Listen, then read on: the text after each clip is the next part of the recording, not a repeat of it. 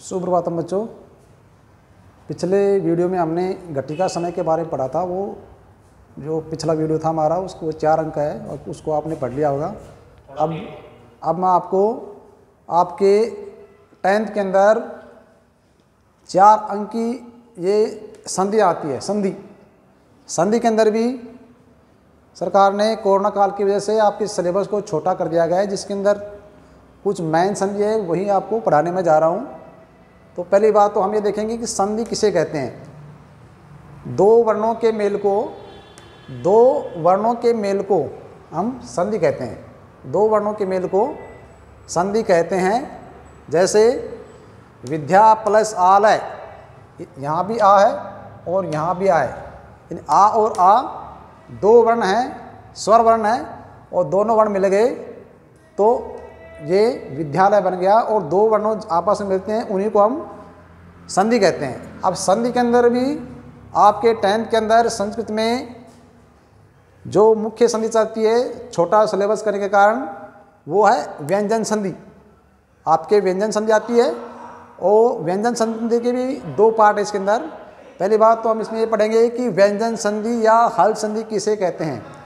तो जब किसी व्यंजन, हल जब किसी व्यंजन व्यंजन वर्ण आप जाते हैं, हल भी व्यंजन को ही बोलते हैं, किसी व्यंजन वर्ण के साथ व्यंजन हल या अच स्वर का मेल होता है, तब वहाँ व्यंजन संधि मानी जाती है। यानी किसी व्यंजन वर्ण के साथ या तो व्यंजन वर्ण हो या फिर व्यंजन वर्ण के बाद स्वर वर्ण हो और उन दोनों का मिलन होता है तो वहाँ व्यंजन संधि मानी जाती है। अब देखिए, इसके अंदर भी इसका हमें दो पार्ट है इसके अंदर। आपके सिलेबस के अनुसार हम बतला रहे हैं आपको। इसके दो पार्ट है पहला है, वर्गीय प्रथम वर्ण से तृतीय वर्णे। तृतीय वर्णे, तृतीय वर्ण परिवर्तनम, यानी जो पहला वर्ण है, वर्ग का, व्यंजन वर्ण का प्रथम वर्ग है, उसको तृतीय वर्ण तृतीय वर्ण में बदलना। प्रथम वर्ग है, उसके वर्ण का पहला अक्षर है, उसको तृतीय वर्ण में बदलना। दूसरा पॉइंट है इसका, प्रथम वर्ण से, जो वर्ग का पहला वर्ण है, उसको पंचम वर्ण में बदलना। यानी जो प्रथम है, उसको तो बदलना है तृतीय वर्ण में, और दूसरा इसका भाग है, वो है प्रथम वर्ण। प्रथम वर्ण को बदलना है, पंचम वर्ण में। तो हम पहले देखेंगे जो प्रथम भाग को तृतीय वर्ण में बदलना।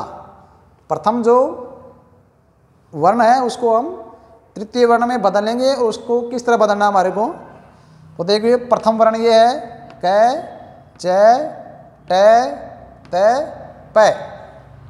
वर्ग का पहले अक्षर वर्ग का, बताया हमने वर्गीय प्रथम वर्ण से तृतीय वर्ण परिवर्तनम, यानी वर्ग का प्रथम वर्ण है, उसको हमें तृतीय वर्ण में बदलना है। तो देखो, पहला वर्ण, वर्ग का पहला अक्षर कौन सा है? वर्ण, क, च, ट, त और प। उसके बाद में अगर वर्ग का तीसरा चौथा अक्षर, यानी कोई शब्द है, उसके अंत में क, च, ट, त, प, यानी वर्ग का पहला अक्षर है और प्लस के बाद में वाले शब्द में शुरू में वर्ग का तीसरा, चौथा अक्षर है या फिर य, र, ल, व, है और स्वर। तेरह स्वर होते हैं या फिर कोई स्वर हो। कहने का मतलब इन पाँचों जो वर्ग के पहले अक्षर हैं वर्ण क, च, ट, त, प, इसके बाद में अगर वर्ग का तीसरा चौथा अक्षर आता है, या फिर य, र, ल, व, है, ओ, और या फिर कोई स्वर आता है। तो ये क है, ये बदल जाता है ग में। यानी इसको हमें तीस अक्षर में बदलना है। देखो इसके अनुसार प्रथम वर्ण का तृतीय वर्ण में बदलना।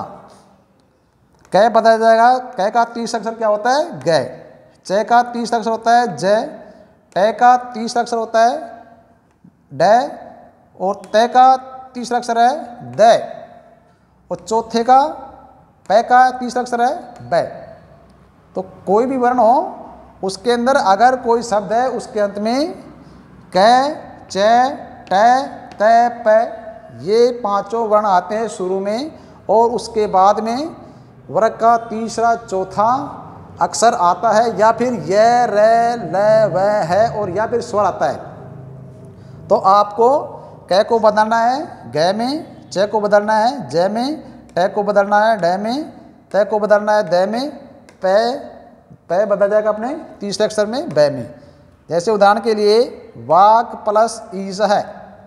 अब यहाँ देखिए, वाक प्लस ईस है, वाक प्लस ईस में, वाक प्लस ईस है, वाक में क है यह आ गया कह क वाला, क आ गया यहाँ, प्लस के बाद में कोई भी शब्द आता है उसके शुरू में वर्ग का तीसरा चौथा अक्षर या फिर य, र, ल, व, है और या कोई स्वर है।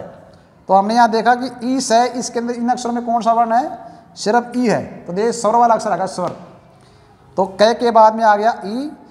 तो क्या हो जाएगा? क को हमें बदलना है तीसरे अक्षर में तो क का हो जाएगा ग। वाग प्लस ईस है तो यहाँ हो जाएगा वागीस है क की जगह हो जाएगा ग। इसको हमने मिलाया तो वागीस है उसी तरह अप प्लस जह अब देखो, इनमें कौन सा अक्षर है? अप में ये वाला प आया, प। अप प्लस जह लेकिन इसका नियम क्या है कि प के बाद में, इन अक्षरों के बाद में वर्ग का तीसरा, चौथा अक्षर या फिर यर लव है या फिर स्वर। तो इनमें देखो, कौन सा अक्षर है हमारे इसमें? इसमें है जय वर्ग का तीसरा अक्षर ये आ गया जय ये प है, प का क्या हो जाएगा? ब। यानी प का तीसरा अक्षर कौन सा होता है? ब।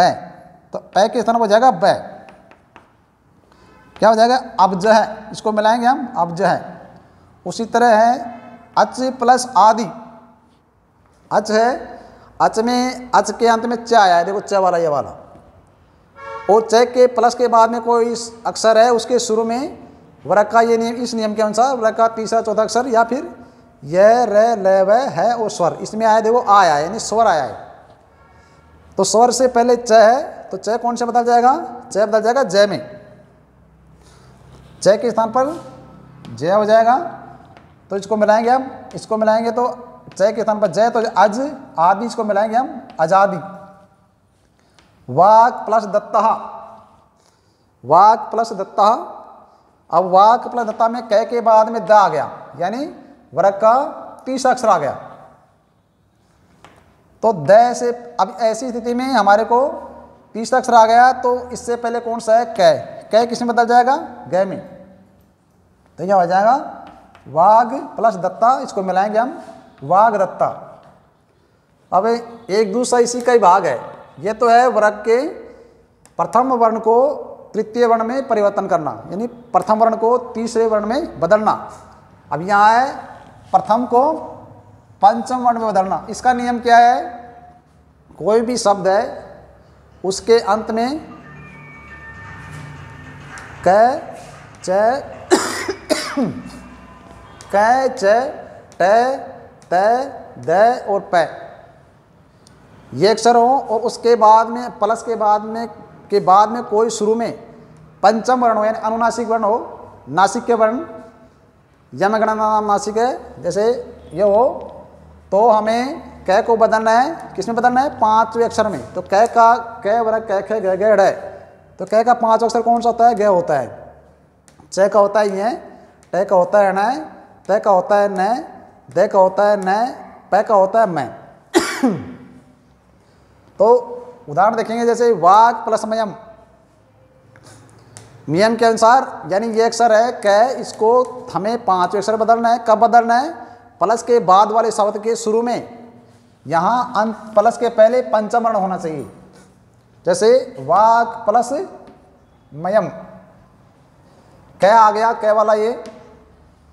कब बदलेंगे? प्लस के बाद में इधर। पांचवा अक्षर हो, पांचवा। तो देखो, मैं मिल गया।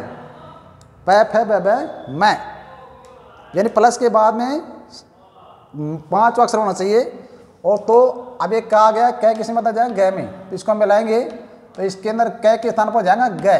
अड़े तो वांगमयम।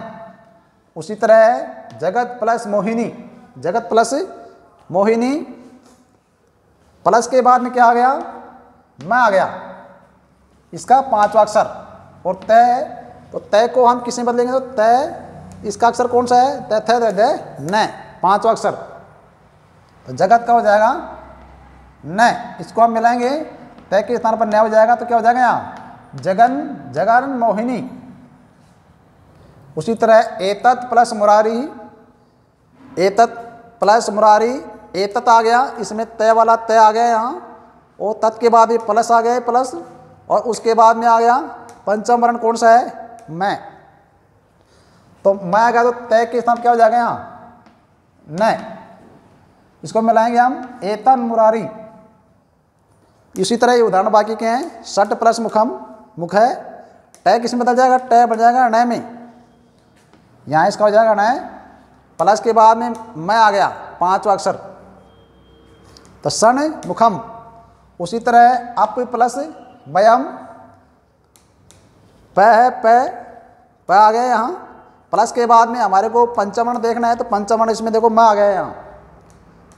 पांचवा वर्ण आ गया तो प को हम किसमें बदलेंगे यहाँ? इसका हो जाएगा मैं। इसको मिलाएँगे हम। अममयम तो ये एक तरीके संधि का पहला पार्ट है इसका, जिसके अंदर दो भाग हैं। वर्ग को प्रथम वर्ण से तृतीय वर्ण में बदलना और प्रथम वर्ण से पंचम वर्ण में बदलना। तो ये आप उसको देख लेंगे। और इसको कल इस वीडियो कम से कम दो या तीन बार देखेंगे। आपको बार बार देखेंगे ना इसको तो अपने आप आपको याद हो जाएगा। थैंक यू और इसका मैटर और आगे देखेंगे।